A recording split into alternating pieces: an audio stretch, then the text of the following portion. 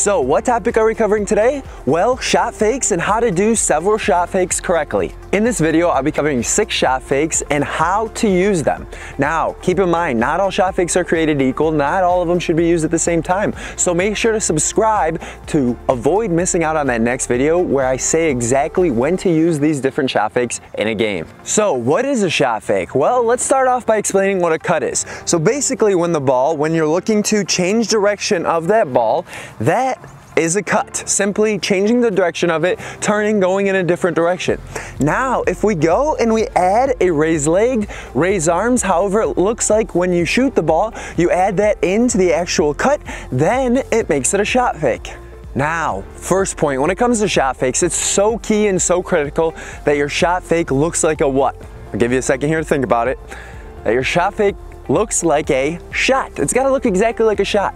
The less believable your shot fake is, the less likely that defender is to bite. So how do we make it more believable? Well, when we shoot the ball, our arms generally go up in some fashion, as well as our leg. So if I'm only bringing my leg up and not my arms, doesn't look as believable. If I only bring my arms up and not my leg, looks like I'm trying to fly. Doesn't look like I'm taking a shot fake. Or if I just bring them up a little bit, going from here to here isn't gonna do much. I'm not getting much power on that shot even if I do kick it so the defender is not scared. So make sure when we go to do the shot fake, it's arms up, leg up, and also before we go to strike that ball, often we're looking where? We're looking at the net. We're seeing where the goalie's placed. So getting that head up super quick to see where that goalie is to make it look like you're taking a shot, and then getting those arms and legs up will make it way more believable so that defender is biting every single time. So that first shot fake that I want to discuss is called a step on, step out. And that's where I actually go and I pretend to kick the ball. I step on the ball, I step to the outside and push away with the other foot. So let me demonstrate here for a second. So when I'm coming coming in. I'm pretending to strike that ball. I am placing my foot on the top of it. I am stepping past it. And now with that opposite foot, I am pushing and exploding out. Notice with this, it makes it very easy for my body to stay facing forward and for me to continue attacking forward. So like I said earlier, make sure to stick around, make sure to subscribe and watch that next video on when to actually use these different shot fakes in a game. Knowing how to use them makes a big difference, but knowing which one to use and when makes an even bigger difference. So the next shot fake that we're gonna cover is called the cut. So we're shot faking into a cut. And that's simply when we go to shoot the ball and we cut it with the inside of our foot. Now, something to keep in mind that's super key here. How far do I wanna cut this ball?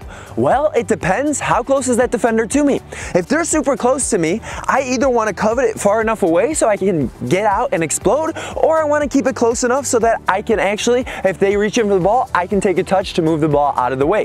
So now, something to keep in mind, if they're really far away, I don't need a big cut. Uh, simply a small cut, keep the ball with me so I can do whatever I need to. However, if they're reaching in, they're swinging for that ball, then taking a bigger cut to where it's really getting pushed out past your body is gonna make it much more effective. Now, like I said in the beginning, when we go to do that shot fake, you've gotta make it believable. You've gotta make it look like you're actually taking a shot. All right, that next shot fake we're gonna go over is what I like to call a chop. So instead of cutting the ball with the inside of the foot, all we're gonna be doing is cutting it with the outside of the foot. So I could call it an outside of the foot cut, but because I called the other one a cut, I wanna make it as easy for you, the viewer, as possible, and having a bunch of similar names isn't gonna make them very memorable. So with this, I'm calling it the chop, and that's simply going, pretending to take that shot, getting your leg around the ball, cutting that ball, and then pushing and exploding out in a different direction. Now notice with this, anytime this ball is gonna be rolling, I'm generally just looking to get past that ball, take a very small touch, a very small touch so that the ball stops, and now I can quickly explode out. And notice how efficient this is. First, I'm landing past that ball, so I'm able to quickly get low and explode out. Secondly, when I go to dribble a ball, and this was a recent video that I put out, when we go to dribble a ball, notice my toe is down and in. So when I cut this ball with the outside of my foot, notice my toe is basically right in the perfect spot for me to be able to dribble the ball after. So this is a very explosive cut. The next shot fake we're gonna cover is called called the Cruyff. Though a seemingly funny name, the Cruyff is named after the famous soccer player Johan Cruyff, who played for the Netherlands national team as well as for clubs Ajax and Barcelona. Johan Cruyff made this cut famous, therefore the move was named after him. So with the Cruyff, it's important that we're cutting the ball using the inside of our foot as we're going to do that shot fake, and we're cutting it with the inside of our foot, and that ball is getting pushed behind us, and now we're exploding.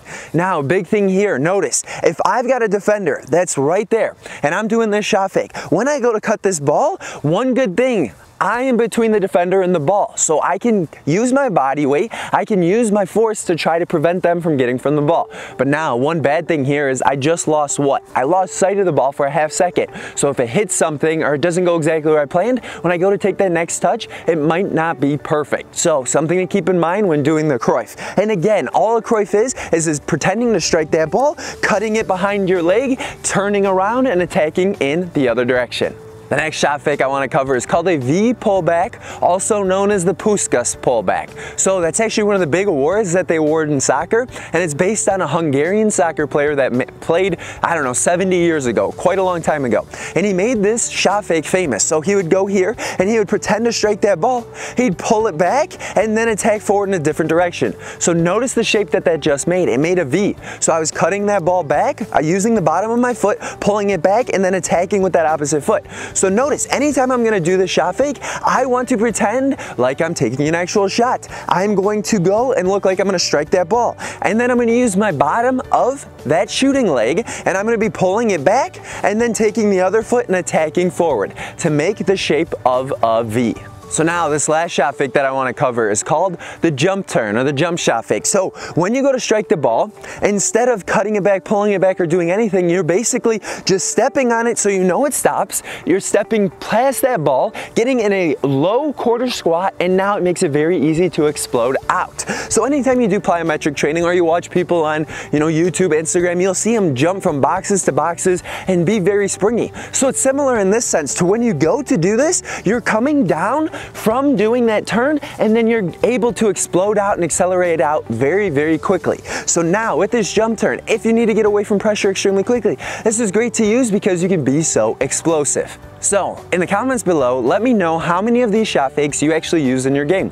So whether you want to type the actual shot fake that you use that we covered today, and there's six of them, or if you want to type 0, 1, 2, 3, 4, 5, 6 to let me know how many of them you actually use, it'll be great for me to be able to ask which ones you use so I can help you develop your game further. Now, a big thing with shot fakes and with all skills, when you go to do a shot fake, you want to make sure that you're extremely explosive after the skill. The shot fake is only as good as the explosiveness after the skill. So as you're doing your shot fake, as you're getting your arms up, your head up for that quick look, your leg up to make it as believable as possible, if you do your shot fake and then don't really accelerate away, then the defender is going to very easily be able to catch up with you. So do that shot fake make sure it's quality, get them to flinch or to bite on it, and then explode in a different direction. So now, how do we practice this skill? How do we practice these shot fakes? Often, what I like to do for myself or trainees is I'll put three cones down so that they know, all right, in this, we're gonna be doing a shot fake at these. I'll put cones down in different ways so that they know when to use the different skills, makes it a little bit easier on them and on you.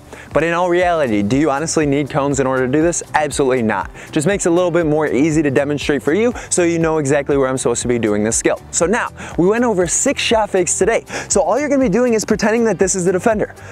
Now, a big thing to keep in mind, do we ever want to do shot fakes right on top of this defender? Absolutely not. They're not going to be scared at all. They're going to be coming in trying to get that ball. So we've got to do it a few yards away.